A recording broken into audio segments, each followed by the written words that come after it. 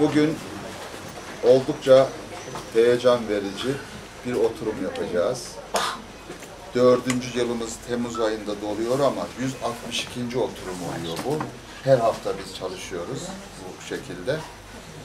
Ben e, hepimizin heyecanla e, takip ettiği, bildiği, değişik şekillerde de olsa bildiği e, bir milli mücadele kahramanı, bir e, emsalsiz bir büyüğümüzü burada kendi evladı tarafından efendim dile getirilmek suretiyle efendim yeniden onun aziz hatırasını anmış olacağız. Onun büyük hizmet önünde saygıyla uyanmış olacağız, eğilmiş olacağız. Timsah Karabekir hanımefendi hepiniz televizyonlardan tanırsınız.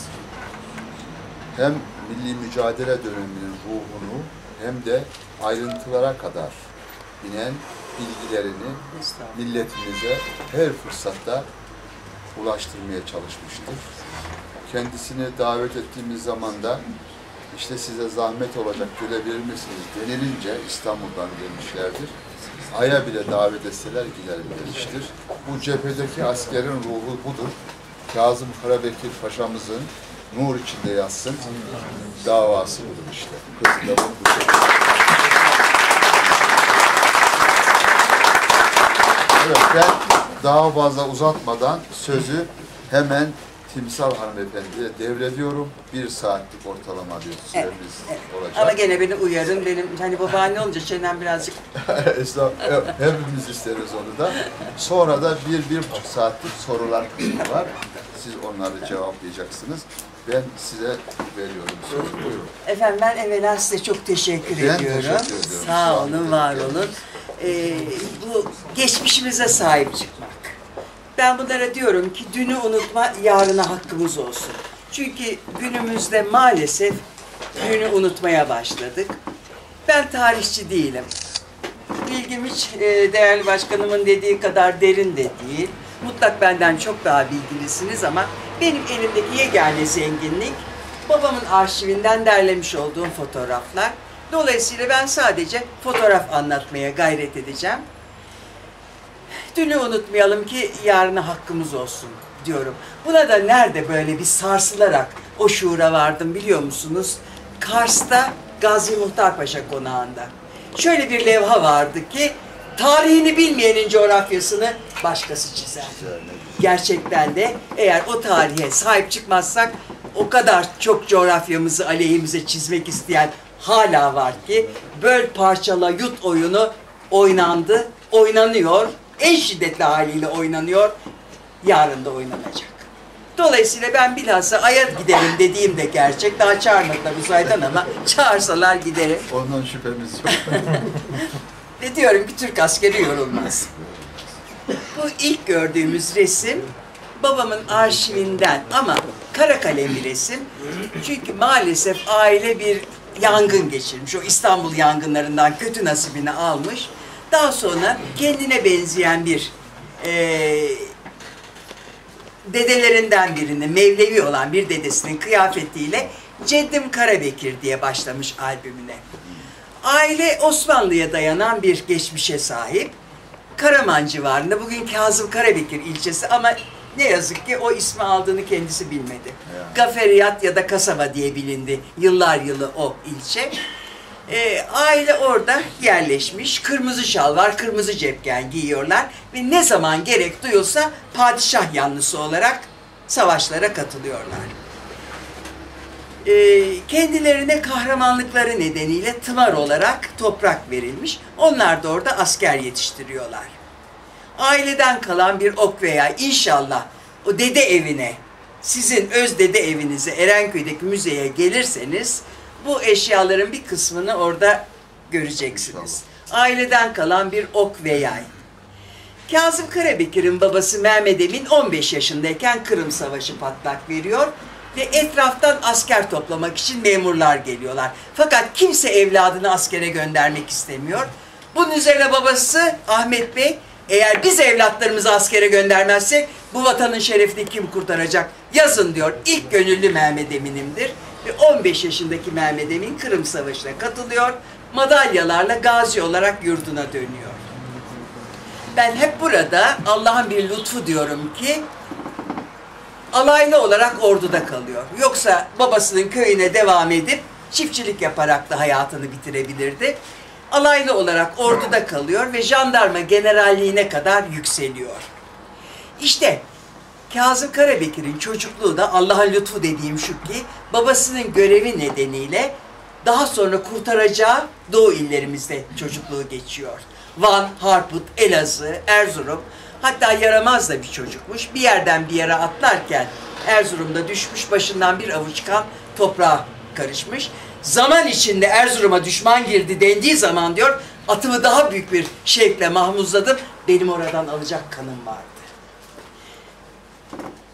Burada kendi yaptığı eski yazı bir albüm olduğu için sağdan sola doğru elimizdeki ilk gençlik resmi sağ başta gördüğümüz e, ve değişik rütbelerde Kazım Karabekir.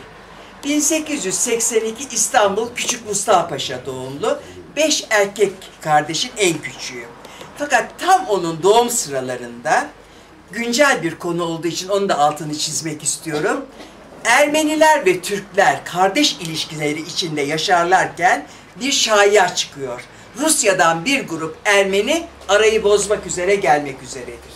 İşte Mehmet Emin Paşa'yı alay bey olarak asayişi koruması için padişah Van'a tayin ediyor. Fakat evlat çok küçük, henüz yeni doğmuş.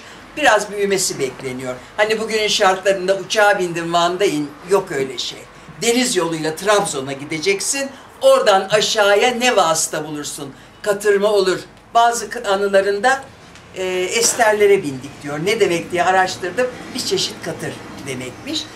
E, biraz büyümesini bekliyorlar. Annesi kendisine bir kumandan elbisesi dikiyor. Babasıyla ilk kez tanışacak ve babamın yaveriyim diye büyük bir gururla babasının arkasında. Küçücük yaver.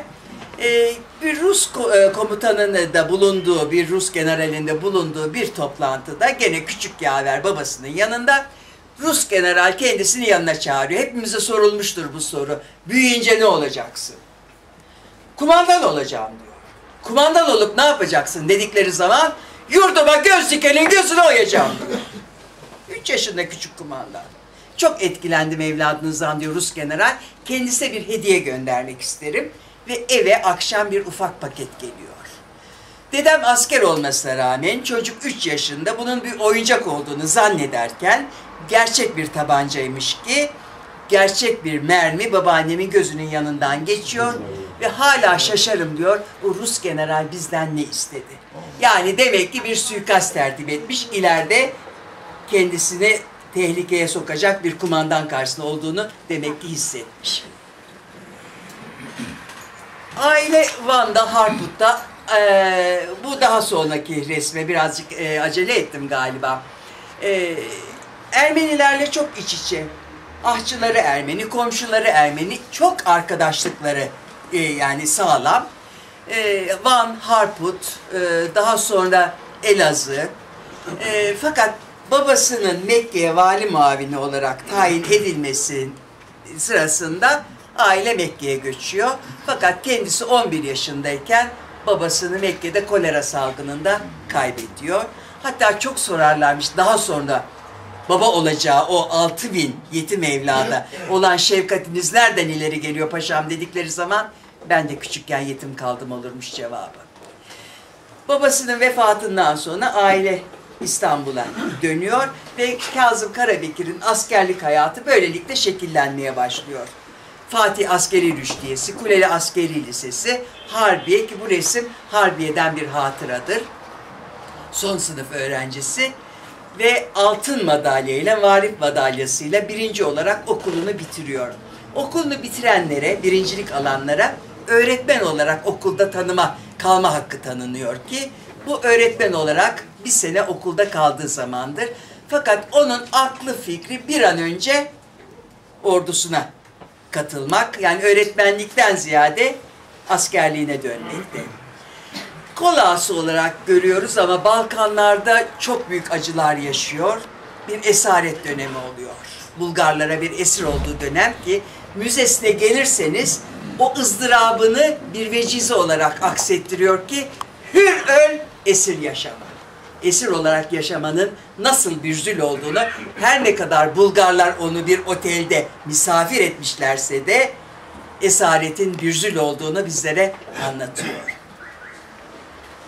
Değişik rütbelerde Kazım Karabekir ve Edirne savunmasında Kazım Karabekir'i Şükrü Paşa'nın kurmayı olarak görmekteyiz.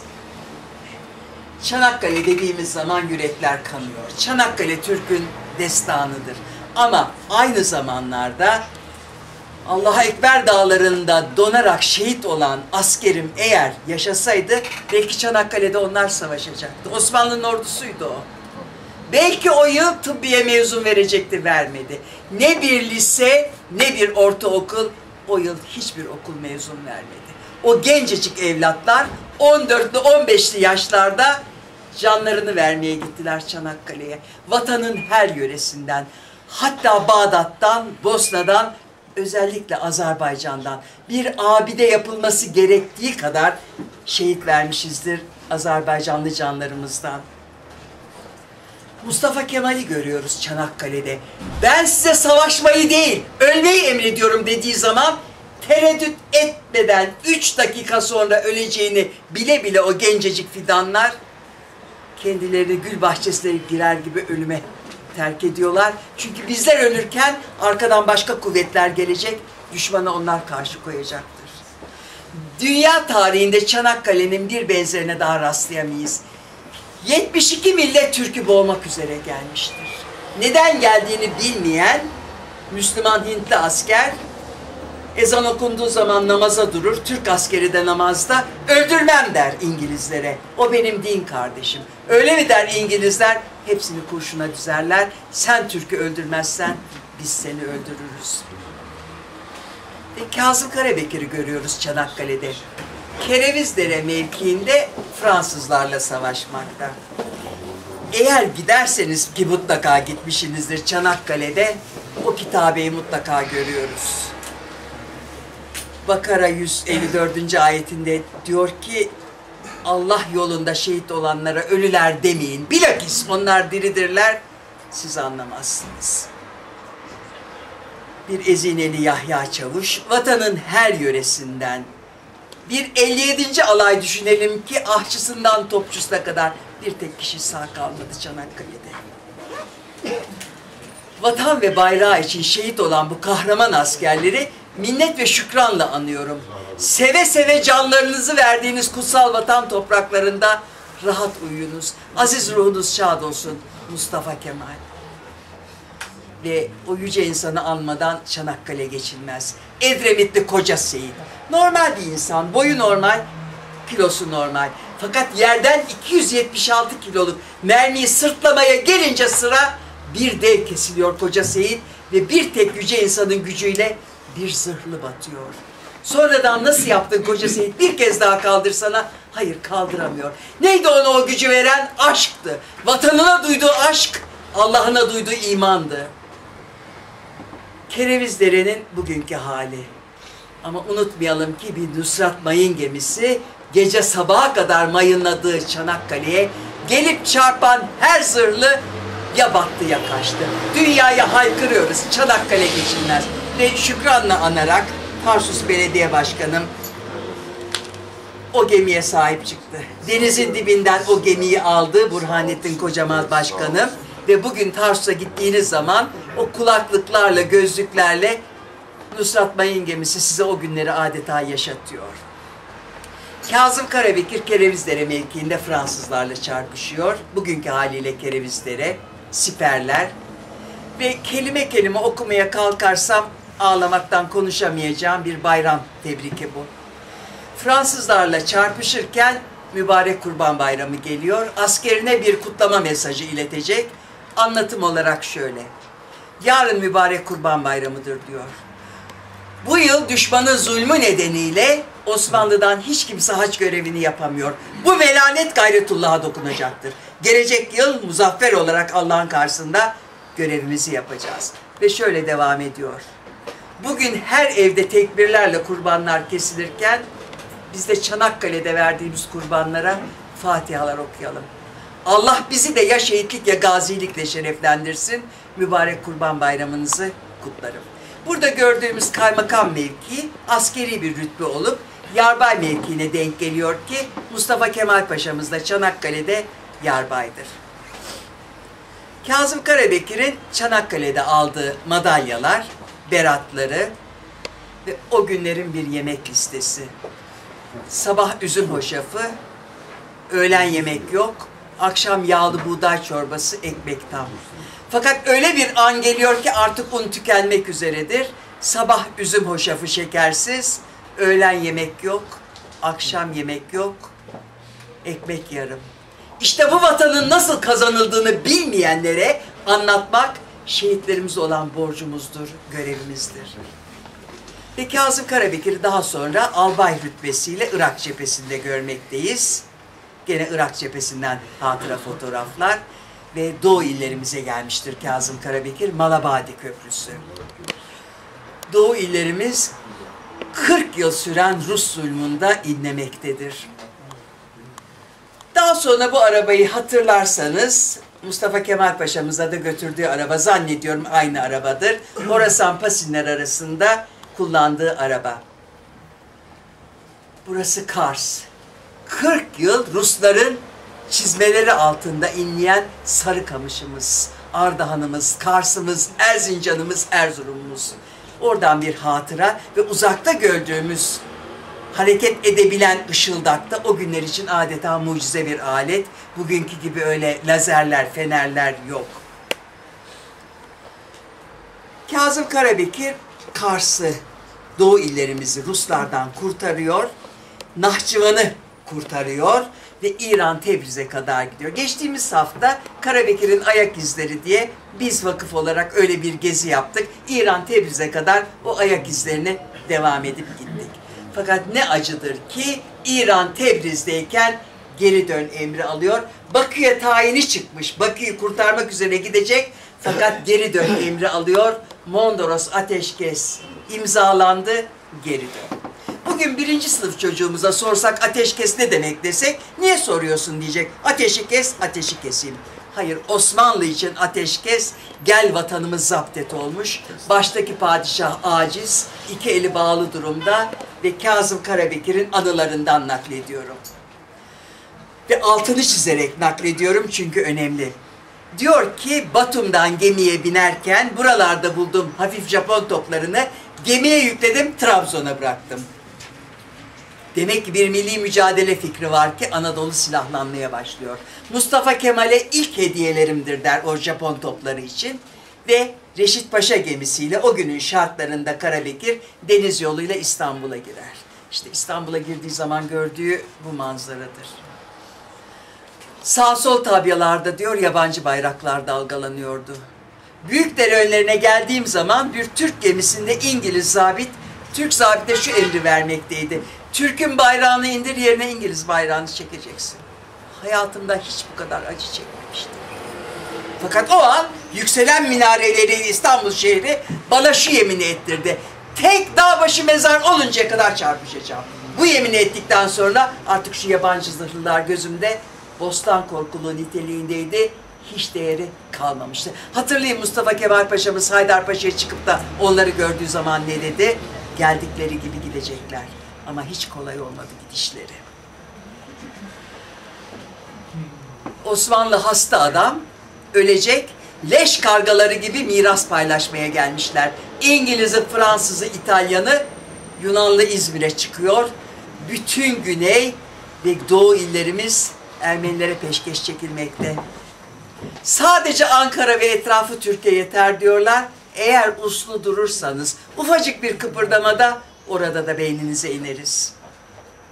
Yüce kadın Sultanahmet mitinglerinde her yüreğe bir kor, bir meşale yakmakta Halide Edip Türk Ocağı toplantılarında. Burası Beyoğlu, İstiklal Caddesi. Küstah bir Fransız general Fatih Sultan Mehmet'i taklit etmekte. Tophaneden bindiği atıyla sanki İstanbul'u fethetmiş gibi İstanbul sokaklarında dolaşmakta. Türk'ün bayrağı, Türk'ün şerefi yerlerde sürüklenmekte. Kimse nereden başlayacağını, ne yapacağını bilememekte. Bütün yürekler kan ağlıyor. Baştaki padişah aciz, iki eli bağlı durumda egemen İngilizler. Gene Beyoğlu'nda yabancı güçler. Çok güncel bir konu olduğu için özellikle bunu da altını çizerek emanet ediyorum sizlere. Aradan neredeyse 100 yıla yakın zaman geçmiş. Yıl 1918 Kazım Karabekir anılarında diyor ki İstanbul'a gelir gelmez Harbiye Nazırı Abdullah Paşa'ya çıktım. Paşam ben size doğuda Ermeni ve zalimini içeren bir takım vesikalar gönderdim. Niçin bastırmadınız? İleride ile Ermeniler bunun tersiyle Türkleri suçlayacaklar. İşte bugün Sarkozy yaptığını görüyoruz. Amerika'da Obama'nın iki dudağının arasından ne çıkacak diye sinirlenerek bekliyoruz. 100 yıl önce neredeyse Karabekir diyor ki eğer bunları anlatmazsak gereği gibi tersiyle Türkler suçlanacaklar. Abdullah Paşa'nın cevabı hiç bunlardan haberim yok Kazım. Sağda solda buldurttum, gönderdiğim vesikaları bir risale halinde bastırdım. Yetmezdi. Fransızca basılmalıydı ki ecnebiler de bunu anlasın. Ama kimsenin cebinde devletin bütçesi dahil Fransızca'ya çevirtip bastıracak yeterli para yoktu. Temin ettim ve bastırdım diyor. Daha sonra İsmet Paşa'nın başkan olduğu komisyon o parayı kendisine ödemiş. Gene bir Rus generalin Ermeni zulmünü anlatarak, utanarak anlatışıdır bu anılar. Bizim vatanımızda bizim insanımız. Kendi içimizde bile bazı kişiler aydın diye nitelenen nasıl karanlıklarsa bir özür kampanyaları açılıyor. Ermeniden özür dilenecek. Bizim bir özür borcumuz var ama bu insanlardan, kendi ceddimizden size yeteri kadar sahip çıkamadık diye. Bu toplu bir Türk mezarı. Erzurum Kanlıdere yakınlarında açılan toplu bir Türk mezarı. Her biri hunharca öldürülmüş. Bizim vatanımızda bizim ceddimiz bunlar. Kuyulara atılmışlar. Camilere tıkılıp yakılmışlar ve Karabekir'in bir anısı. Hepsini anlatmıyorum. Yüreklerinizi çok acıtmak istemediğim için ama bir tanesini anlatacağım. Erzurum'a o kadar yaklaştım ki diyor. Zaten biraz daha geç kalsaydım içeride kurtaracak can, can bulamayacaktım, kurtarılacak. O kadar yaklaştım ki insanların dişlerini görecek mesafedeyim. Gülerek beni karşılıyorlar. Fakat ortada bir gayri tabiilik hissettim. Bu insanlar hiç kımıldamıyordu. Daha da yaklaştığım zaman dehşetle gördüm ki her biri canlı canlı Ermeniler tarafından birer kaza oturtulmuştu. Öyle can vermişlerdi. Izdıraptan kasılmıştı çehreler, gülmekten değil. Allah benim gözümün gördüklerini dünya üzerinde hiçbir göze göstermesin. Bizim vatanımızda bizim ceddimiz bunlar.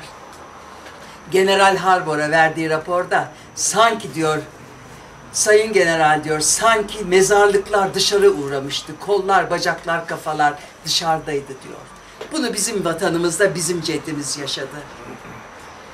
Şimdi sizleri Erzu e, İstanbul'da bir konağa davet ediyorum. Mustafa Kemal Paşa'mızın yaşadığı Şişli'deki konağı. Mustafa Kemal ufak bir kulak ameliyatı geçirmiş hasta yatmakta ve Kazım Karabekir kendisini ziyarete gider. Paşam der, İstanbul'da kalmakla hiçbir şey elde edemeyiz. Kurtuluşun anahtarı doğudadır, doğuya gelin. Ben 15. kolordunun başına Erzurum'a gidiyorum. Sizi bütün kolordumla destekleyeceğim. Mustafa Kemal Paşa'mızın cevabı, iyi olur olmaz size mülaki olacağım. Ve 19 Mayıs 1919 Mustafa Kemal Samsun'a güneş gibi doğar. Çok dikkatle bakın şu pasaporta. Kolay mı doğar o güneş? Özgür vatanında değil ki o yüce insan. Padişah sıfırlanmış, bitmiş. Bir paşasını İstanbul'dan Samsun'a İngiliz'in verdiği şu pasaport olmadan gönderemiyor. Ve Mustafa Kemal'e biçilen görev de çok acı. Türkler isyan etmiş, git isyanları bastır, silahları topla. O yüce insan her göreve razıdır. Yeter ki ayağını mukaddes Anadolu topraklarına atabilsin. Mustafa Kemal Paşa'mızdan bir ay önce Kazım Karabekir Erzurum'a gitmek için Trabzon'a çıkmıştır. O günün şartlarında gene deniz yoluyla, Gülcemal vapuruyla Trabzon'a gider ve Trabzon'da çok büyük bir miting derlenir. Karabekir o mitingde şöyle bir konuşma yapar. Ben buraları hülyalı kafalara vermeye değil, vatanımda gözü olanın gözünü oymaya geldim. Mustafa Kemal Paşa tabii ki kendisine biçilen git türkü bastır, silahları topla görevini yapmayacaktır. Amasya genelgesi dünyaya haykırır. Millet bir bütündür bölünemez. Vatan bir bütündür bölünemez. Burada Anadolu'ya ilk çıkan beş inanmış yürek, rahmetli Cemal Kutay'ın deyimiyle beşi bir yerde altınlar derdi. Ali Fuat Cebesoy 20. kolordu, Kazım Karabekir Erzurum 15. kolordu, Mustafa Kemal Atatürk, Refet Bele, Rauf Orbay. Anadolu'ya ilk çıkan beşler. Ve Amasya genelgesi imzalanırken. Şimdi sizleri Erzurum'da bir konağa davet ediyorum. Vatan bütündür bölünmez, millet bütündür bölünmez sözleri İstanbul'da yankılandığı zaman İngilizler çok kızarlar. Ve padişaha baskı yaparak, padişah zaten iki eli bağlı durumda aciz, derhal Mustafa Kemal Paşa'nın tutuklanmasını isterler. Çünkü biz onu oraya türkü bastırsın diye gönderdik. O türkü yüreklendiriyor. Vatan bölünmez dedi. Millet bölünmez dedi. Aciz olan padişah Mustafa Kemal Paşa'yı tutuklama emrini Kazım Karabekir'e verir. İşte bu konakta o gün Mustafa Kemal Paşa 7-8 Temmuz gecesi zor bir gece. Karabekir anılarında diyor ki Mustafa Kemal Erzurum'a geldi. Kendisini şanına yakışır askeri bir törende Ilıca'da karşıladım. Yolunuz Ilıca'ya düşerse iki komutanımızın buluşma noktasında heykellerini göreceksiniz. Fakat Mustafa Kemal tedirgindir. Padişahın Karabekir'e verdiği emri bilmektedir. Her ne kadar İstanbul'dan doğuya onu davet eden Karabekir'se de, Ilıca'da askeri törenle karşılayan Karabekir'se de, Mustafa Kemal sabaha kadar uyumaz, azledileceğime, tevkif edileceğime ben istifa ediyorum der ve rütbelerini söker. İşte o gün bu konakta bir masa başında Rauf Orbay'la otururken Mustafa Kemal hiçbir askeri yetisi kalmamıştır, istifa etmiştir. En güvendiği kurmayı Kazım Dirik yanına gelir. Paşam der istifa ettin, bundan böyle kimden emir alacağım? Elimdeki dosyaları kime vereceğim? Yıkılmıştır Mustafa Kemal, gördün mü Rauf der. Bir saat önce sen her şeysin diyen kişiler artık sen yoksun demekte. O sırada yaveri Cevat Abbas koşarak içeriye girer. Paşam der, Kazım Karabekir bir bölük süvariyle gelmekte. Rauf Orbay anılarında Mustafa Kemal bir an sarardı diye yazar. Her şey buraya kadarmış Rauf. Milli mücadele başlamadan bitecek. Aldığı emri bilmekte Karabekir'in. Gidecek ve Mustafa Kemal'i tutuklayacak. Kapı açılır içeriye Kazım Karabekir girer askeri kıyafetiyle. Sivil olan Mustafa Kemal Paşa'nın karşısında bir asker selamı çakar. Paşam der dün olduğu gibi bugün de bütün kol ordumla emrinizdeyim. Sizi koruması için bir bölük süvari. Bir de araba getirdim. Demin gördüğünüz arabayı, Horasan Pasinler arasındaki arabayı hatırlayalım. İki dava arkadaşı gözleri yaşlı birbirlerine sarılırlar. İşte o gün bu konakta İstiklal Harbimiz başlamış ve kazanılmıştır. O gün bu konakta Türkiye Cumhuriyeti'nin temeli atılmıştır. O gün bu konakta Mustafa Kemal Atatürk olmuştur. O yüce insanı destekleyen bir 15. kolordu var. 15. kolordunun önemi şöyle. Osmanlı'nın bütün orduları dağıtılmış, bütün asker terhis edilmiş, silahlar toplatılmış. Yegane gücümüz Kazım Karabekir'in 15. kolordusu ve Mustafa Kemal Paşa'mızı o desteklemekte. Erzurum Kongresi toplanır ve General Harbor Erzurum'a gelir. Ortada gördüğümüz üniformalı zat General Harbor. Ve bugün siyasilerin bir takım oy avcılığı neticesi Sarkozy'nin yaptığı soytarılık gibi Ermeni konusunu siyasilerden alıp da gerçekten tarihçiler arşivleri açarak ortaya çıkarabilirlerse ki Mevlana'nın dediği gibi yaranın üzerini kapama melhemle. Vur neşteri cerahat aksın. Cerahatin akması arşivlerin açılması demektir ki bugün General Harbor'un 24 Nisan'da Amerikan Senatosu'na sunduğum rapordur diye okuyacağımız açılırsa eğer arşivler satır satırına şöyledir. Erzurum'a gittim, olayı yerinde inceledim. Esas yok edilmeye çalışılmış olanlar öz yurtlarında Türklerdi. Türkler Ermenilere kötü davranmamıştı. Okuyacağımız satır satır bunlardır ama gelin görün ki oy avcılığı birilerine şirin görünme nedeniyle bir takım sıkıntılar dönüp dolaşıp bizi de çok kızdırıyor. Gene General Harbor'la Hatta şöyle bir kişisel anısını da anlatır. Ee, gelen heyetin onuruna yemek verilmiş, kahve içilecek. İçeriye bir Arap bacı giriyor, zenci bir bacı. Başında beyaz yeldirmesi. Fakat o tarihte özellikle hepimiz hatırlarız filmleri. Amerikalılar zencilere çok bayılmadılar. İrkilmişler ve rahatsız olmuşlar Arap bacıyı görünce. Karabekir diyor ki sayın general ve arkadaşlarınız yüzü kara olan bu kişiyi görünce rahatsız oldunuz, irkildiniz. Ama biliniz ki onların ak sütleri bizim bebelerimizi büyütür. Süt annelerimizdir onlar bizim. Ama bizlere barbar, sizlere medeni deniyor. Utanarak başını eğer cevap veremez General Harbor. Erzurum Kongresi, Sivas Kongresi takip eder ve 23 Nisan 1920 şanla şerefle bir cuma günü Hacı Bayram Veli Camii'nde kılınan cuma namazından sonra dualarla, fatihalarla Türkiye Büyük Millet Meclisi açılır. Burada hocanın ilk yanındaki siyah giysili Karabekir, tanıdığım kadarıyla Rauf Orbay ve Atatürk'ü Fatiha okurlarken görüyoruz. Yeni açılmış olan Türkiye Büyük Millet Meclisi'nin aldığı kararla Karabekir'in ordusu Ermenileri yurdumuzdan püskürtür ve şanlı bayrağımızı Kars Kalesi'ne diker ki ikinci dikilişidir. Osmanlı'nın ilk paşası olarak Ruslardan kurtarmıştır ve milli hükümetin ilk başarısı olan Ermenilerden ikinci kez kurtarılmıştır Doğu illerimiz ve Nahçıvan. Makam arabası Sarıkamış'ta bir payton kendi odasında ölünceye kadar duran, şimdi askeri müzede olan çok sevdiği bir resim.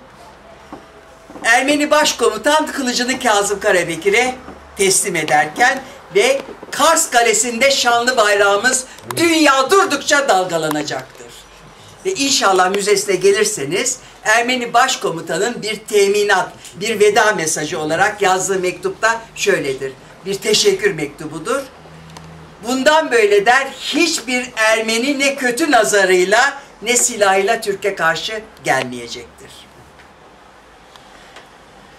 Üç basit görünümlü kalem büyük imzalar atmış. Yeni açılmış olan Türkiye Büyük Millet Meclisi'nin ilk anlaşmaları, ilk başarılarını imzalayan kalemler.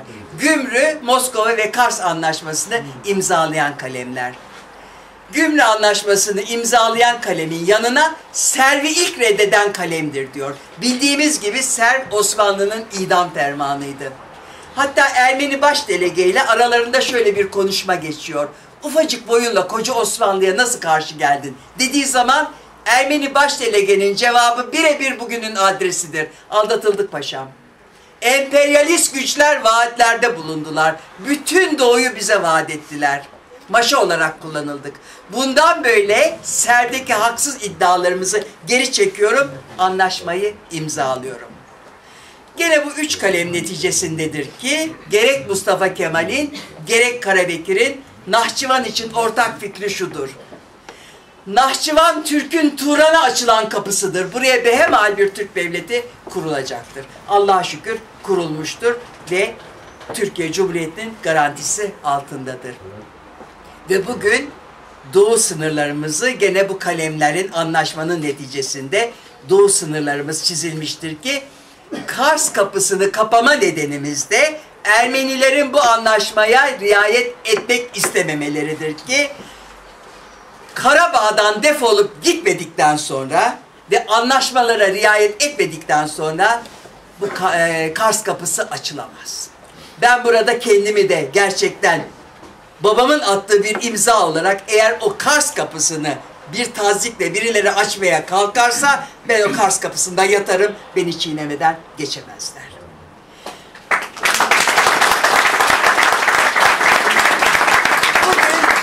Dünya milletlerinin Türk'ü bölüp parçalayıp yok etmek için uğraş verdiklerini hepimiz biliyoruz. Ama maalesef dışarıdaki veren mikrobunun yanı sıra içimizde de bazı mikroplar var ki onlara alkış tutuyorlar. Ne olmuş da olmuş. Yani bu konulara tekrar tekrar girmek değil maksadım ama bir savaş içinde Osmanlı. Çanakkale'de savaşıyor, orada burada savaşıyor, yedi düvele karşı savaşıyor ve sadık taba dediği en güvendiği Ermeni vatandaşları Ruslarla bir olup sırtından Osmanlı'yı vuruyor. Ne yapıyor Osmanlı? Sen vatanın o yöresinde muzurluk ettin, seni vatanın başka bir yöresine alacağım. İşte bugün bizim soykırım yaptık diye iddia edilen bu ağır suçlamayı bize yapıştırmak istenilen olay bu. Sen vatanın o yöresinde muzurluk ettin, seni vatanın başka bir yöresine alıyorum. Ne acıdır ki İstanbul'da salı pazarının olduğu yerde o kuş dili denilen mevkide Osmanlı'nın astırdığı kendi kaymakamı da var. Boğazlayan kaymakamı Kemal Bey. Daha sonra itibarı geri verildi. Ermenilere yeti de, yeteri derecede kucak açmadın diye astırdı Osmanlı kendi kaymakamını. Bunun bir İngiliz fitnesi olduğu duyulup da anlaşılınca itibarlar geri verildi. Bugün bayraklarla şehit mertebesinde yatıyor ama dar ağacı canları geri vermiyor. Açtığımız zaman Osmanlı arşivlerini görüyoruz ki her kafileye doktor verilsin. Her hamile kadına süt verilsin. Döndükleri zaman borçları ertelenmiş olsun. Eğer bu bir soykırım olsaydı Hitler Musevilerin doktoruyla, sütüyle, borcuyla mı ilgilendi? O bir soykırımdı. Ama Osmanlı'nın yaptığı, yapması gerekendi ki o pis ihanet lafını da bize yapıştırmaya çalışıyorlar ki biz buna katiyetle ama gene dediğim gibi dışarıdaki veren mikrobuna kızmıyorum. Onun görevi gelip beni hasta etmek. Ben içimdeki mikrobu Allah'a havale ediyorum.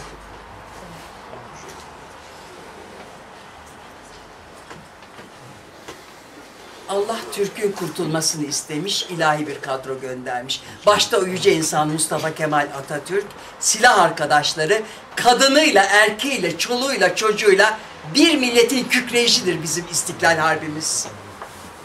Ve Doğu tamamıyla teminat altına alınmıştır. Ve elinde olan mühimmatı ve askerleri Kazım Karabekir batıya, batının kurtuluşu için gönderiyor.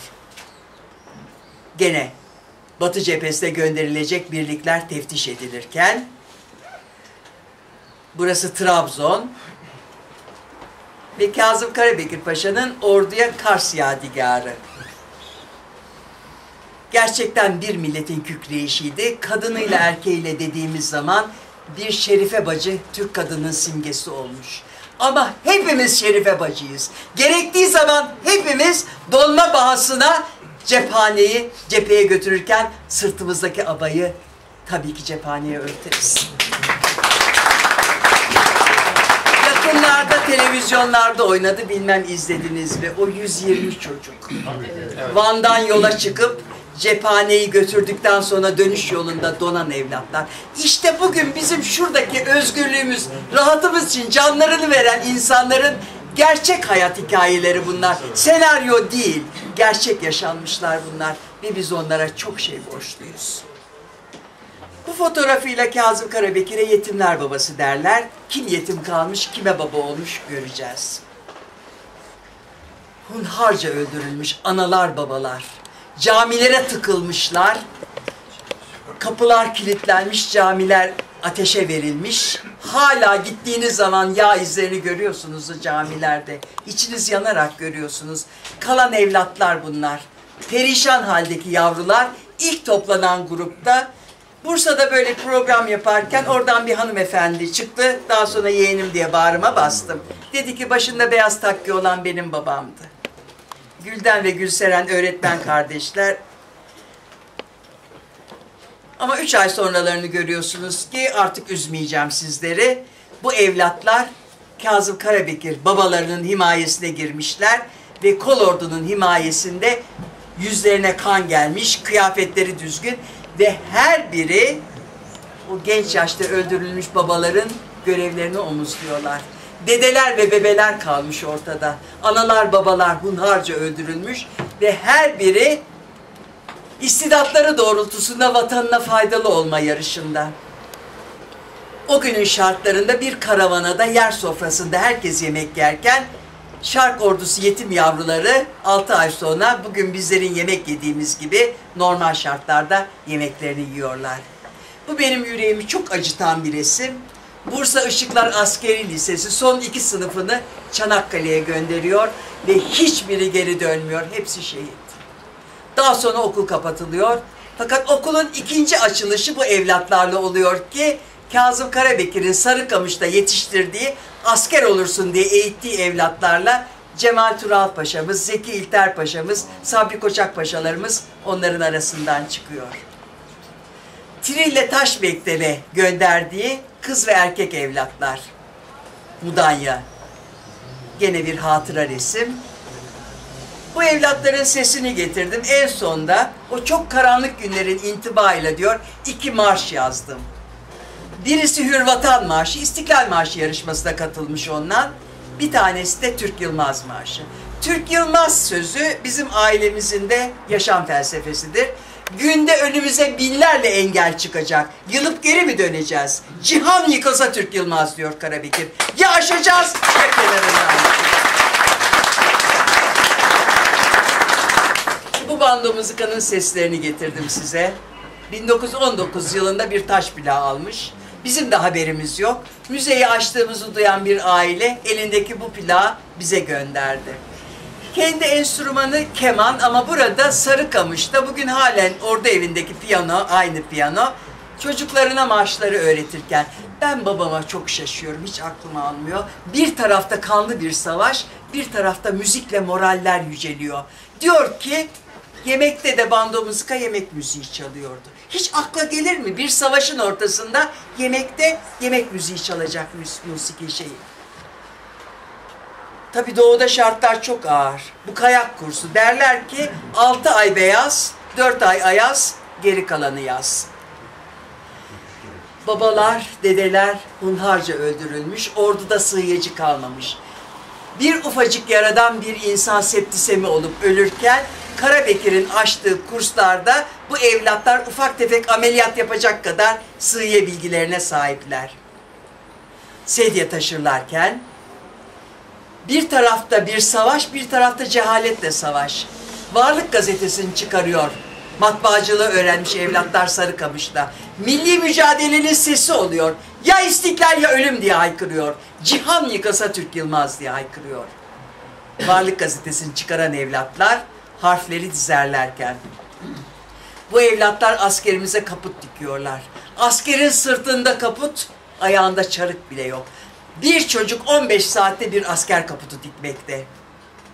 İlaç hazırlayan evlatları, şimendifer kursları, bu da benim yüreğimi burkan bir resim. Askerin ayağında çarık bile yok. Deri işlemeyi öğrenmiş bu evlatlar bir çocuk 16 saatte bir çift asker botini yapmakta. At koşumları ve diğer deri işlerini bu evlatlar yapıyorlar. Tabi burada bir zenginliğimi sizlerle paylaşmak istiyorum. Bilmem gösterebilecek miyim? Evlatlarının arasında babaları Kazım Karabekir şurada.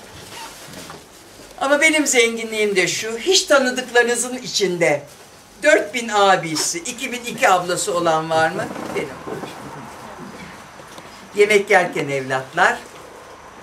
Bu da benim yüreğimi burkan bir resim. O küçücük yatağın üzerine çıktığı zaman abileriyle aynı boyda oluyor ama dikkat ederseniz hijyene çok meraklı.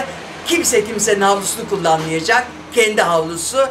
Duvarda Türk bayrağı ve köşede aynada kendisine çeki düzen vermeden odadan çıkmayacak. Öğütlerim diye bir kitap yazıyor çocuklarına ve her konuda o evlatlarına öğütler veriyor.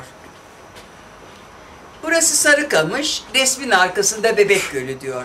Her gidişte araştırdım, hiç de öyle bir göl yok bugün Sarıkamış'ta. Dediler ki vardı. Karabekir evlatlarının ve askerinin suyla tanışmasını istedi. İki akarsuyun önünü kapatıp yapay bir göl yaptı. Topladığı evlatlardan esinlenerek adını Bebek Gölü koydu. Ta uzakta gördüğünüz kilise, kilise kuleleri tabii ki Ruslar def olur olmaz vatanımızdan Müslüman halkın ilk yaptığı şey çan kulelerini aşağı almak olmuş. Ama hali hazırda cami olarak o binayı.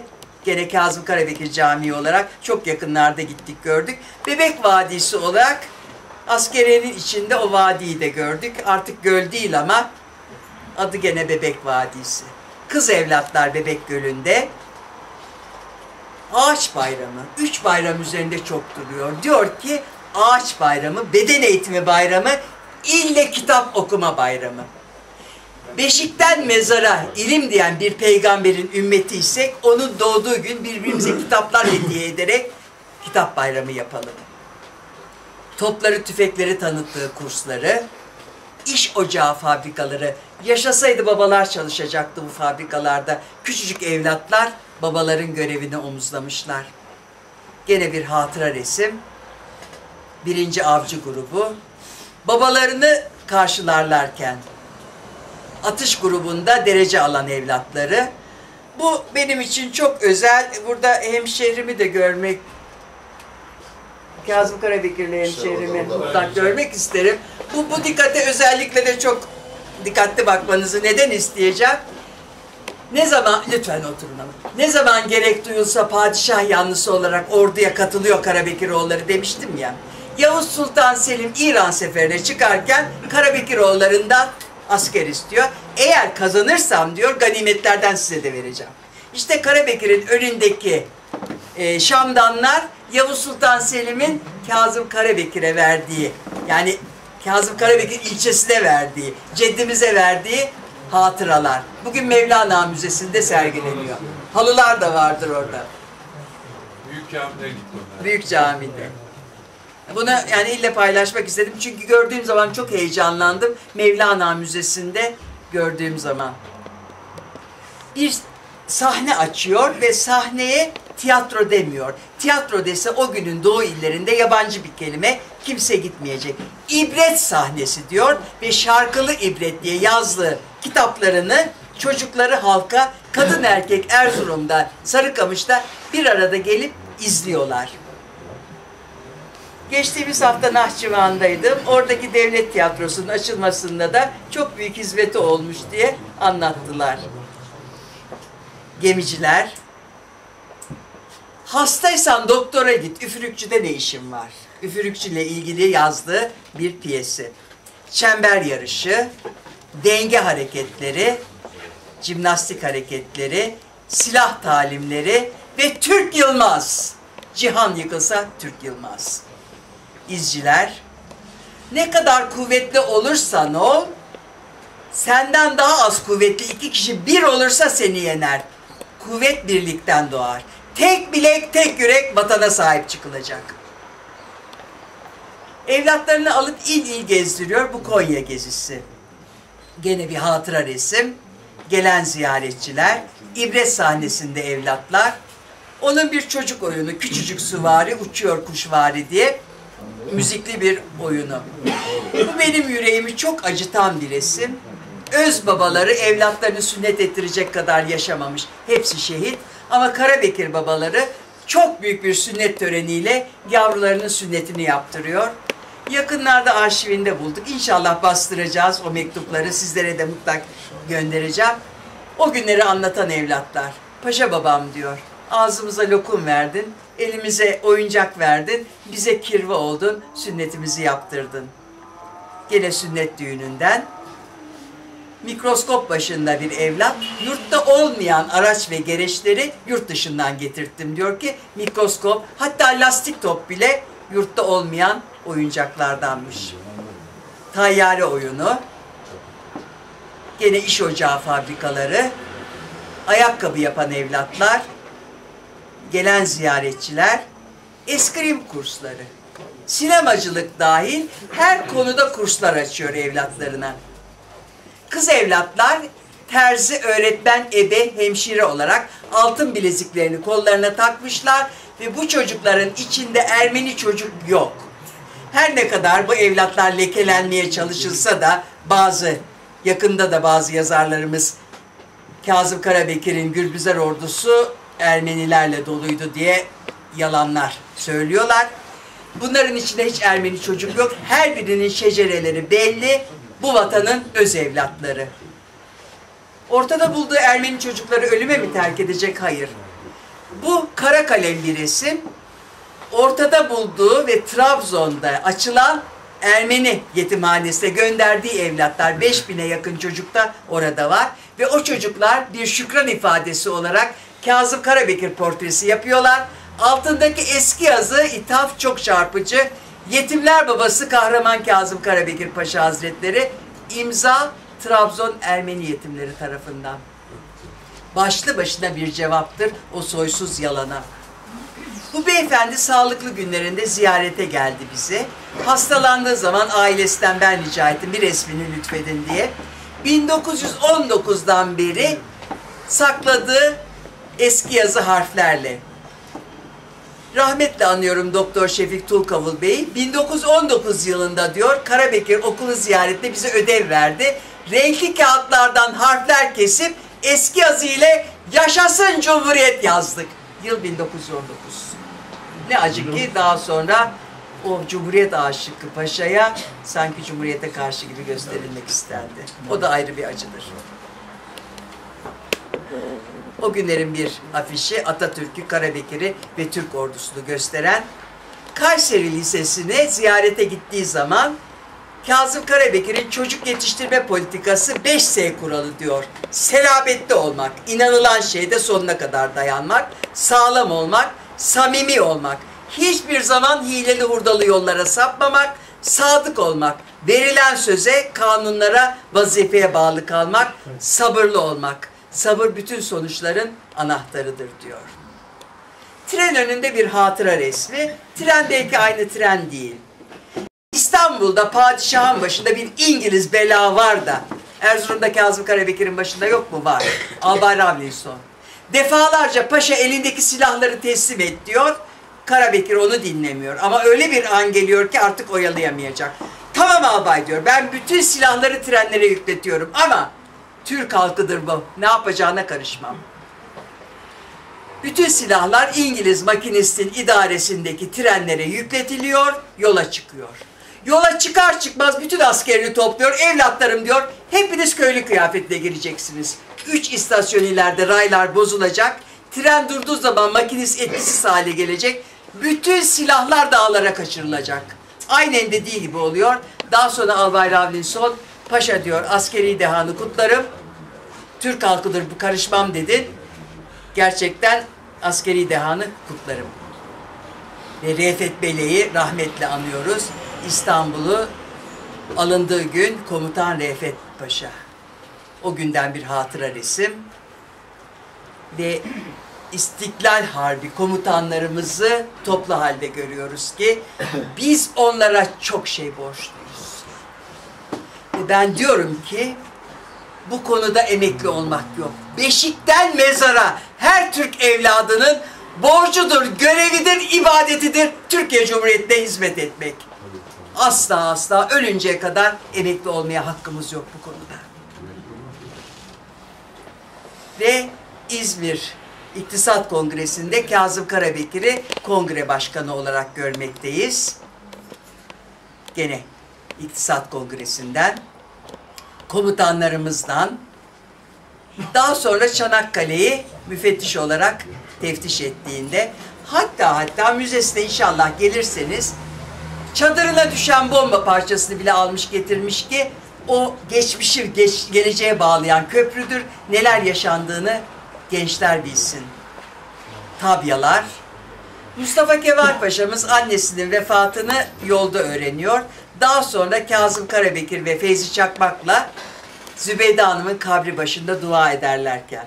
Latife Hanım'la evlendiği zaman nikah şahitleri de gene Feyzi Çakmak'la Kazım Karabekir'dir. Üç komutanımız görüyoruz. Atatürk'ün bir çocukla hatıra fotoğrafı. Son düşman atılmıştır yurttan. Sıra coşkuyla yurt gezilerine gelmiştir ki burada Latife Hanım'ı da Mustafa Kemal Paşa'nın yanında görüyoruz. Balıkesir burası. Bir zafer takı yapılmış, silahlarla süslenmiş. Enteresan bir resim. Latife Hanım nereyi işaret ediyor? Bir sonraki karede göreceksiniz. Bir çocuk davası. Üzücü bir durum var ki Karabekir ağlıyor. Hiç dayanamazdı evlatların ızdırap çekmesine. Yakından bakarsanız onlar kaputlu olduğu halde çocuk yalın ayak ve hakikaten zor bir durumda. Ölümünden bir hafta önce ilk kalp krizini Türkiye Büyük Millet Meclisi'nde Köprüaltı çocukları. O günkü isimleri öyleydi. O kimsesiz evlatların ne olacak bu çocukların hali diye geçirmişti. Ve İstiklal Harbimizde Mustafa Kemal Kazım Karabekir bütünlüğünü simgeleyen arşivden bir fotoğraf. İsmet İnönü Kazım Karabekir. Allah gerçekten Türk'ün kurtulmasını istemiş. Ben onlara ilahi kadro diyorum. Okul arkadaşları, sınıf arkadaşları gerçekten ilahi bir kadro. Beşi bir yerde dediğimiz o güzel insanlardan Atatürk yanlarında değil, Haydarpaşa Garı'nda Rauf Orbay'ı Ankara'ya uğurlarlarken. Vatan kurtulmuş, cumhuriyet kurulmuş, sıra yuva kurmaya gelmiş. Biraz geç olsa da nikah davetiyesini görüyoruz burada. Düğün resimleri. Ankara Etlik'teki köşkü bu evde büyük bir acı yaşanmış. Cumhuriyet kurulduktan sonra gene yürek ister ki o ilk beşlerin dördü demokrasinin icabı olan çok partili rejime geçebilmek için ikinci bir parti kuruyorlar. Terakkiperver Cumhuriyet Fırkası. Mustafa Kemal Paşa'mızın desteğiyle kurulmasına rağmen parti biraz varlık gösterince haksız bir iddiayla Şeyh Said isyanı buna bahane gösterilerek parti kapatılıyor. Fakat muhalefeti susturmak için bu partinin kapatılması yetmiyor. Teker teker o insanları ki Mustafa Kemal Paşa'nın can dostları olan o insanları İzmir suikastine bulaştırılmak isteniyor ki işte Kazım Karabekir Etlik'teki bu köşkünden İsmet seni çaya çağırıyor diye ki İsmet Paşa'nın bundan haberi yok tutuklanıyor. Her hissiyatını bir şiirle ortaya koyuyor. Buna da şöyle derdi. İzmir'e gittiği zaman bir odaya koymuşlar. Bu ikrama pek şaşmıştım diyor. Bir sedye ile bir e, karyola ile bir sedye bilmem hangi hastaneden hediye. Bu ikrama çok şaşmıştım. Ankara polisinde yerde yatmıştım. Yakışmıyor Cumhuriyet Paşalarına. Bugün de yakışmıyor bazı şeyler Cumhuriyet Paşalarına. Ve Kazım Karabekir'i İzmir suikastinde ne acıdır ki yargılayanların hiçbiri hukukçu değildir. Aliler Divanı idamla yargılanıyorlar o paşalar. Kazım Karabekir savunmasını yaparken kendisine suikastle ilgili hiç soru sorulmuyor. Zaten topu topu üç sorudur sorulan. Partiyi niçin kurdun, amacın neydi?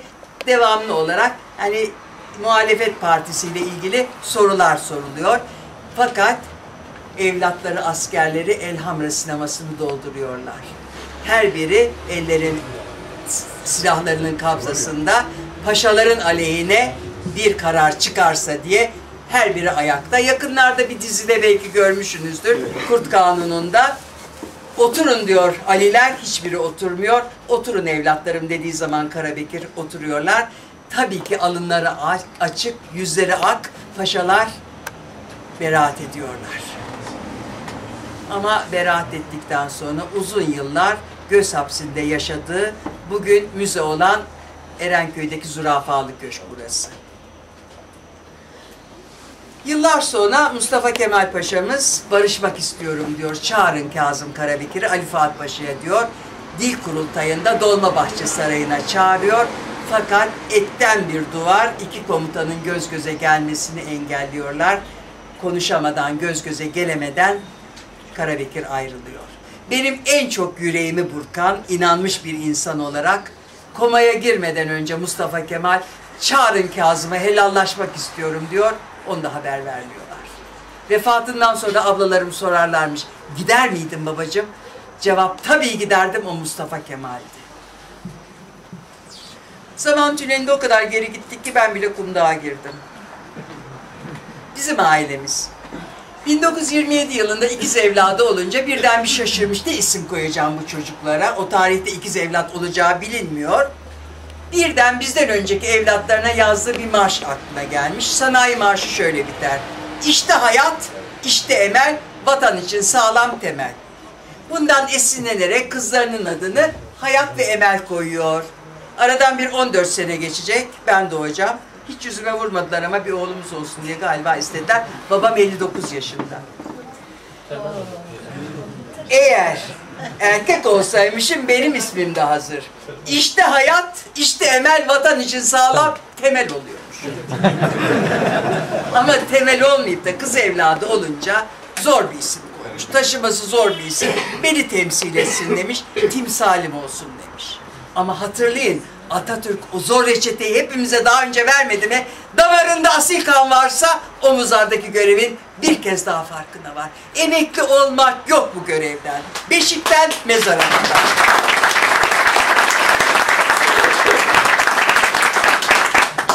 1946 yılında Kazım Karabekir'i Türkiye Büyük Millet Meclisi Başkanı olarak görüyoruz.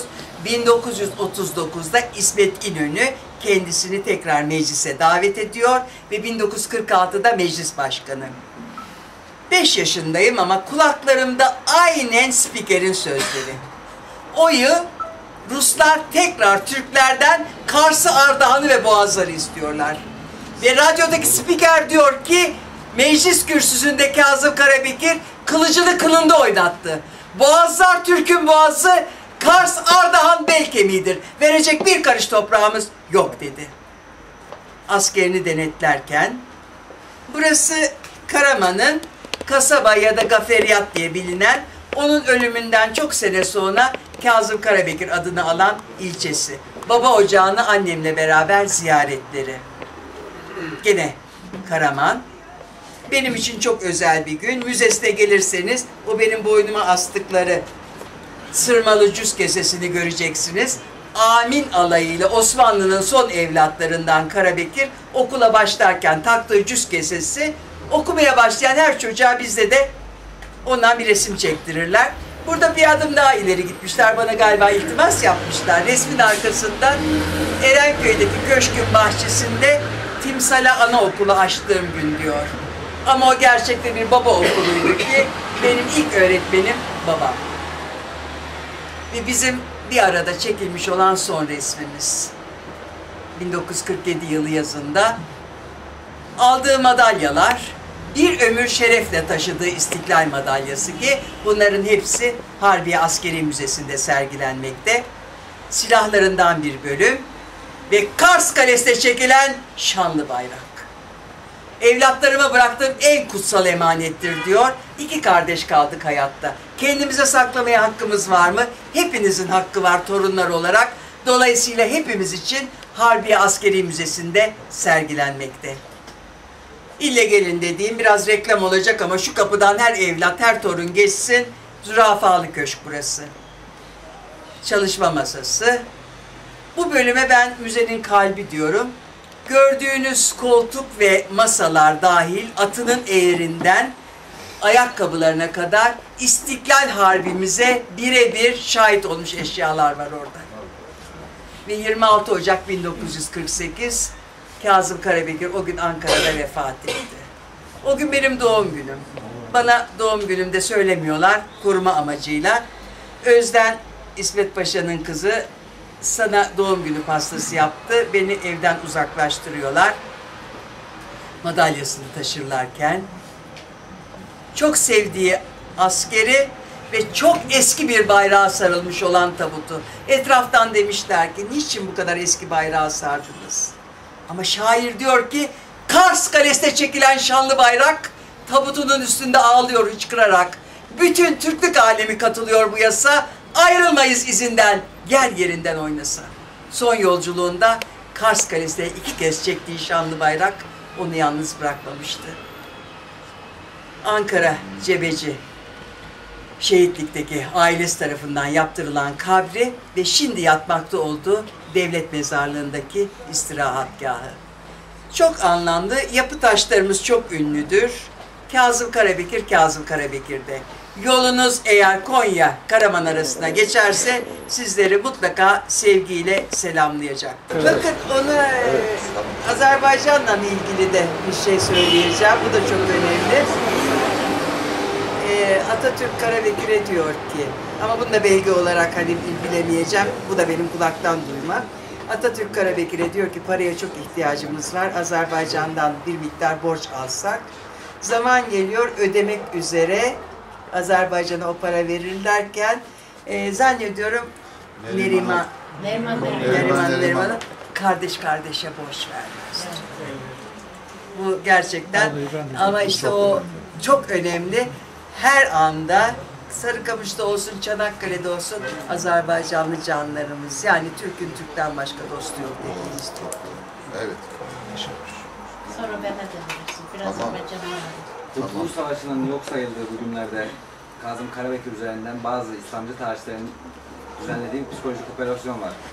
İşte Kurtuluş Savaşı'nı Kazım Karabekir başlattı diye. Hani bu tartışmaya girmek istemiyorum ama sizin bu konuda fikrinizi, Çok rahatsızız. Sizin bu konuda fikrinizi alıyorlar? Ya da sizin Şimdi bakın bu konuda biz çok rahatsızız. Çünkü şimdi ben deminden beri bir Kazım şeyler... Karabekir üzerinden Atatürk yargılanıyor. Biliyorum. Cumhuriyet yargılanıyor. Kimsenin ne Atatürk'ü ne Cumhuriyet'i ne o kutsal insanları yargılamaya hakkı yok. Eğer bugün biz biraz önce o dinlediğimiz ezanı kilise çanı olarak bize gelebilirdi o insanlar olmasaydı. Evet. Biz bugün İslam dinini bugünkü gibi özgürce yaşayamazdık. Kimsenin ben de duyuyorum ne acı ki hatta Büyük Millet Meclisi'nde Kurtuluş Savaşı olmamış. Senin deden katılmadıysa sana olmamış. Bize oldu. Bizim şehidimiz var, gazimiz var. Bizim İstiklal Harbimiz oldu. O medya gruplarından sizin... Şimdi görüşleriniz burada bunu Mustafa Armağan diye bir zat bir kitap yazdı. Hatta televizyona beraber çıktık. Mustafa Armağan diyor ki demin ben de size gösterdim. Mustafa Kemal Paşa'dan bir ay önce Kazım Karabekir de Erzurum'a gitmek üzere Trabzon'a çıkmıştı. Şimdi Mustafa Armağan yazdığı kitapta tamamıyla babamın yazıları. Hiçbir şekilde kendi yorumunu katmamış. Ama bizi rahatsız eden şu ki Kazım Karabekir ondan bir ay önce çıktı. Dolayısıyla o başlatmıştır Kurtuluş Savaşı'nı. Kazım Karabekir, Mustafa Kemal Paşa'yı doğuya gel paşam, ordunun başına geç diyen adam. Eğer ben başlatıyorum deseydi Mustafa Kemal'e niye gidecektik ki? Kendi giderdi orada başlatır. Olur olmaz ne olur bilinmez. Ama bu bir ekip işidir. Mustafa Kemal bu işin olmazsa olmazıdır. Karabekir de bu işin olmazsa veriyorum. Ben televizyonda dilim yettiği kadar bunları anlatmaya çalıştım. Biz aile olarak son derece rahatsızız. Kazım Karabekir bir kesimin istediği bayrak değil. Kazım Karabekir bu vatanın her vatandaşının gönlünde olan bu vatana canını verme bahasına yani onu göze alarak vatanını kurtarmaya çalışan insan. Mustafa Kemal de böyle, Ali Fuat da böyle, Feyzi Çakmak da böyle, hepsi hepsi böyle İnönü'nden tut. Dolayısıyla hiçbirinin hakkını kimsenin yemeye hakkı yoktur. Bu İstiklal Harbimiz adlı büyük eserinde e, rahmetli bu konuya adeta cevap veriyor. Verir, kendi verir. Evet etraftan çünkü bir takım insanlar askeri birlik, güç, kolordu senin emrindeydi. Niye kendin bu işe öncülük etmedin diye. İç, içimizde gelecekle ilgili projesi olan bir Mustafa Kemal var. Evet. Biz ona tabi olmak zorundaydık ve doğru yaptık. Yani cevabı veriyor. Fakat bunu ne hangi ihtiyaçla yazıyorlar anlamak mümkün değil. Fazla da iyi niyetli olduğunu zannetmiyorum. zordur. Zordur. Kazım Karabekir Paşa'nın şu yazdığı maçlardan fikriyatı hedefi belli. Türklük davasına. Yani şahsına bir şey istemiyor. Hiçbiri, Hayır Ha, tabii tabii işte onu konuşuyoruz. hiçbiri şahsı için yapmıyor. Evet. Bu vatan için. Evet. Buradan bir söz var, bir de hanımların önceliği var biliyorsun. Gençlerin ve hanımların. Genç adamlar. Çok değerli, çok kıymetli. Canım benim. Değerli bacım. Canım. Biz birbirimizi çok seviyoruz. Çünkü aynı yolu giden insanları. Siz benim gözümde Türk dünyasının Halide Edibisiniz. Ay canım benim. Evet. Estağfurullah. O silah eline alıp savaşmak değil. Siz kendi konuşmalarınızı insanlara anlatıyorsunuz bunları. Önemli budur. Her yerde. Yani nerede sizi davet ediyorlar yok demiyorsunuz. Her yerde konuş. Hatta beraber konuştuk Gazi Üniversitesi'nde de. Üç gün bundan önce TRT Avaz'da da sizi izledim Ya, sonuna kadar. Onu görmedim ben. Ben gördüm. Çok güzeldi. Güzel Yani sizi bütün Türk dünyası sever. Ben de Doğrudan da siz yaşatıyorsunuz bu mücadele. Şu anda çok önemli. Özellikle bazı zamanlar diyardı ki Atatürk'ün bir de Karabekir Paşa'nın araları açık falan. Bunları o kadar güzel siz anlatıyorsunuz ki ben her zaman büyük önderimizin karşısında baş eğerim. Neden? O bu milletin ismini devlete vermeseydi, bu devletin ismi Türkiye olmasaydı biz Türk olduğumuzu bilemezdik. Aynı zamanda paşamıza da karşısında baş eğrem Allah rahmet eylesin Kars Anlaşması'na göre. Bugün Nahçıvan varsa Kars, Kars Anlaşması'na göre Ermeniler çoktan oranı işgal ederdiler. Bu nedenle size Doğukan çok teşekkür ederim. Ve siz o e, para meselesinde de çok güzel dinlediniz. Azerbaycan'da para yok idi. İnsanlar duyanda ki e, Türkiye para lazımdı. Hər kəs altınları, bəli, evdə bilərzikləri çıxardıb vermişlər. Bunu unutmamaq gərəkir. İstəyir Çanaqqale'də, istəyir ə, bütün hər yerdə. Yəni biz bir millətiz. Azərbaycanlı bilərək isimlər verdilər bizi sizdən ayırmaq üçün. Sizin bu anlatmalarınıza görə mən təşəkkür edirəm və öpürəm sizi. Mən sizə təşəkkür edirəm. Cihan, təşəkkür edirəm.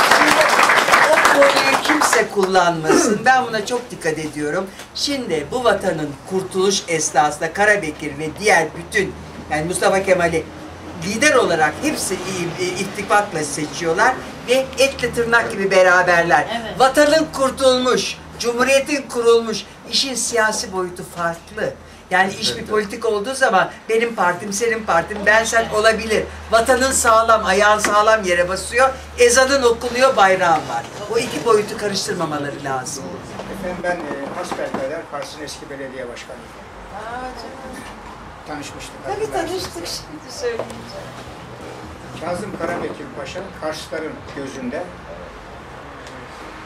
aslında ilk Atatürk'müş.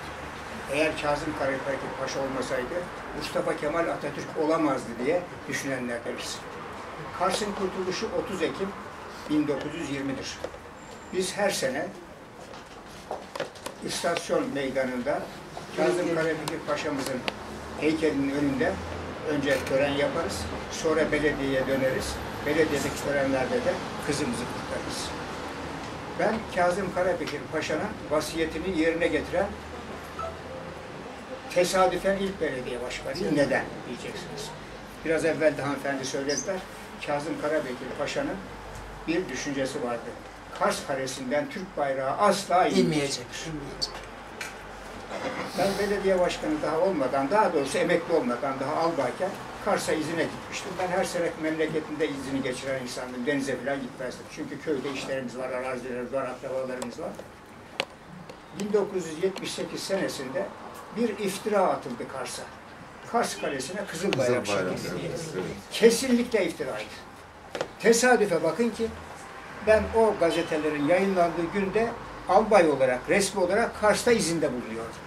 Sadece Türk bayrağı, çok büyük bir bayrak, şöyle rüzgarla ikiye katlanmış, yıldız tarafı görünüyor. Allah Allah. Olay bu. Ve bunu en fazla üzerine gidenlerden bir tanesi de kimdi biliyor musunuz?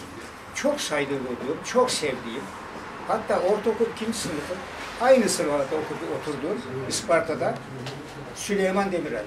Ben Süleyman Demirel'le aynı zamanda hemşeri de sayılırım. Anla nedenini de anlatacağım. Ben Karslıyım, çıldırdım. Evet, evet, evet.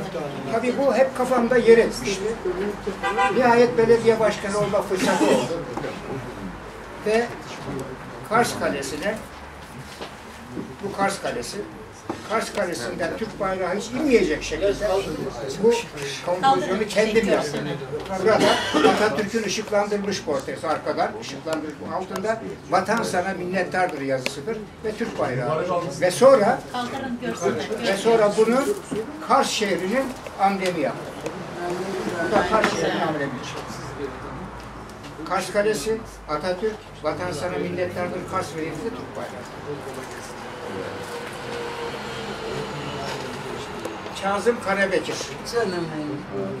Evet, o Kars Bu Belediyesi. Kars'ın 50. kurtuluşunun 50. yılında basılmıştır. Belirli sayıdadır.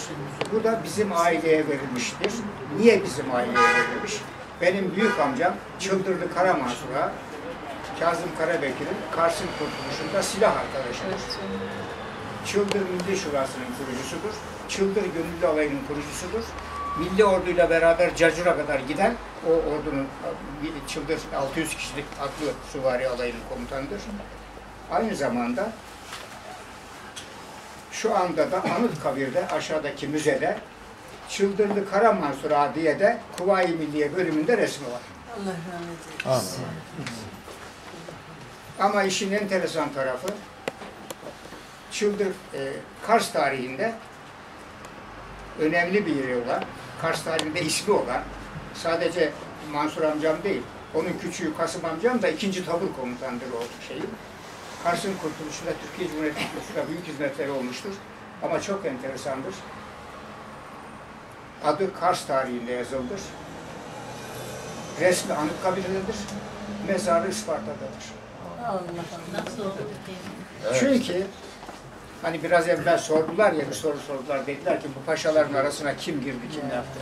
Çünkü 1935 yılında gene böyle şeyler oluyor. Biz kara papağız. Siz kara papağın ne olduğunu Evet, bilirsiniz. evet. Biz kara papağız. Siz oradan Terekemeyiz kara papağız. Terekesen gelmişsiniz. Ve bizi Tabii ki yerli diyelim. ve maalesef Mansur Ağa, ben o zaman iki yaşındayım. Mansur Ağa ailesini 42 kişiyi Isparta'ya sürgün ettiler. Aile olarak biz Isparta'ya sürgünüz. Hep hep şunu söylerler, hani biraz evvel İsmet Paşa'dan bahsedildi ya, bizimkiler de böyle derler. İsmet'in kadrine uğradık derler. Ama ben ona inanmıyorum. Neyse yani biz Isparta'ya sürgünüz. Ben iki yaşımda sürgünüm. İlkokulu Isparta'da okudum. Ortaokul birinci sınıfı Isparta'da okudum. 1947 yılında tekrar memleketinize dönebilirsiniz dediler. Mansur amcam o zaman ölmüştü. Mezarı Isparta'dadır. Ailenin çoğu Isparta'da evlendiler, barklandılar. Sadece babam ben bu memleketi sevmedim. Memleketimde gidip öleceğim dedi. Ablam, ben, annem, babam tekrar memlekete döndük. Ondan sonra da ben ortaokul sınıftan itibaren ortaokulu Kars Lisesi'ni bitirdim. Sonra asker oldum. Onunla ilgili de şu tarihi şeyleri de ve bir de bizim sürgünümüzle ilgili onu da gazetede de yayınlandı, kitap haline geliyor. Ve Ben e, bir kitap da yazıyorum, kusura bakmayın vaktinizi alıyorum. Sürgünden Beto'ya diye. Ben aynı zamanda 1983'te Kars'ta birinci sırada milletvekili adayıyken Beto'daydım. Bana verecek askeri yok. Ay canım. Biraz yüksek. Ben e, Genelkurmay Başkanlığı'nda görev yaptığım yıllarda Ürdün Genelkurmay Başkanı ziyarete gelmişti Türkiye'yi. Beni mihmandar olarak görevlendirmişlerdi. Beraber Anıtkabir'e gittik. Anıtkabir Müzesi gezildi. Anıtkabir Müzesi'nde iki şey dikkatimi çekmişti. Atatürk'ün el yazısıyla yazdığı, üzerine not düştüğü kitaplar arasında. Bir tanesi sizin demin buyurduğunuz cebinde taşıdığı Kur'an-ı Kerim. İkincisi de Atatürk'ün kendi el yazısıyla yeni Türkçe harflerle üzerine not düştüğü eski Türkçe bir Osmanlıca kaleme alınmış bir kitaptı. O kitapta bir yerin altını çizmiş. Kırmızı kuru boya kalemiyle kenara bir ok çıkartmış. Çok mühim yazmış şimdiki Türkçe harflerle. Üç tane de ünlem işareti koymuş. Dikkat ettim. Arapça okuyabiliyorum. Ahlakıl ashabul kiram yazılı. Altını çizip de çok mühim diye dipnot düştüğü yerin orada. Yani ashab-ı kiramın ahlakına çok mühim diye not düşen bir adamı kimse dinsizlikle suçlayamaz. İkincisi, son söyleyeceğim. Milli güvenlik hocalığı yaptım liselerde o yıllarda. Lise Milli Güvenlik ders kitabında Atatürk'ün Peygamber Efendimizle ilgili ve dinimizle ilgili söylediği o kadar güzel sözler var ki maalesef sonraki yıllarda bunu Milli Güvenlik ders kitaplarından çıkarttılar. Hem eski nüshası hem yeni nüshası benim elimde mevcuttur. Özetle söylediği şudur. Benim ismim bir gün unutulacaktır. Fakat Peygamber Efendimiz Cenab-ı Allah'ın yarattığı en mükemmel insandır. Onun ismi kıyamete kadar yaşayacaktır. Bu söz Atatürk'e ait bir sözdür. Milli Güvenlik ders kitabında yazılıdır. Fakat daha sonra maalesef bunu bazı kafalar yanlış bir zihniyette çıkartmışlardır. Evet, bu millete hizmet eden herkesten Allah razı olsun. Bu vatanı, bu devleti emanet edenlere biz çok şey borçluyuz. Yeter ki biz sahip olduğumuz değerlerin kıymetini bilelim. Bugün Türkiye büyük tehlikelerle karşı karşıya. Geçmişin münakaşalarıyla günün meseleleri üzerinde duramaz hale getiriyorlar. Hatta ara- aramızda ihtilaf yaratarak bugün de bir milleti ayrıştırmaya ve cepheleşmeye sevk etmeye çalışıyorlar. Dünya böyle bir dünyadır. Eğer şey varsa bünyede zayıflık dışarısı bunu kullanır. Biz bunların üzerinde hiç durmamalıyız. Çünkü geçmişi değiştiremeyiz. İnsanın bir sözü var. Geçmişle ilgili münakaşa yapmayın. Çünkü onlar olmuştur, değişmez. Ama bugün ve yarın sizin elinizdedir. Onu iyi yapmaya çalışın. Biz bunu düşünmemiz lazım ki bugün pek çok görevlerimiz varken bunları bir kenara atıyoruz. Efendim 50 sene, 100 sene, 200 sene önce şu şöyle mi dediydi, bu böyle mi dedi. Hemen ayrıştırma, siyah beyaz halinde. Çünkü bir insan biz seviyorsak kusursuzdur. Bir insanı sevmiyorsak baştan aşağı kusurludur başlıyoruz bunları çatıştırmaya ve kendimiz bundan çok şey kaybediyoruz. Biz bugün ve yarına bakalım, bize bırakılan bu Evet. kutsal emanetlerin değerini bilelim. Çok doğru. Fakat bunu niye yapamıyoruz? Demek ki eğitimimiz, ülkemizin içinde bulunduğu şartlar, yönetim kalitemiz maalesef böyle bir ortamı besliyor. Ama bizim böyle milli şuur sahibi, tarihimizden gücünü alıp da geleceğe karşı görevlerini hakkıyla yerine getirmek için bir formasyon sahibi olmuş değerli kardeşlerimizin bu meselelerde çok uyanık olması lazım. Çünkü bunun için bu çalışmaları yapıyoruz. Biz de o, o dışarıdaki fitnenin ocağına düşersek o zaman savunacak kimse kalmaz. Kardeşim öyle olsa da bir faydası yok, böyle olsa da. Bugün bizim devletimiz, vatanımız var. Bu tehlikede ben ne yapacağım? Evet. Biz biliyoruz ki bunlar bize hakikaten hiçbir karşılığı olmayan büyük armağanlar vermişlerdir. Ne demek vatan hediye etmek? Ne demek bağımsız bir devlet hediye etmek? Ne demek medeniyetimizi, kültürümüzü, dilimizi, edebiyatımızı, tarihimizi bizim önümüze sunmak? Çünkü bunlar çok ihmal edilmişti. Biz bunları geliştirmemiz lazım. İlim adamı kafasıyla ama sorumluluk sahibi, vebal altında insanların şuuruyla çalışmamız lazım. Ondan hepimiz şüphesiz e, ittifak halindeyiz. Efendim ben e, tekrar ta İstanbul'dan kalkıp aramıza gelip bu güzel konuşmalarla yeniden bize milli ve manevi bir güç veren, ruhumuzu kanatlandıran Timsal Hanım'a saygılarımı sunuyorum, teşekkür ediyorum.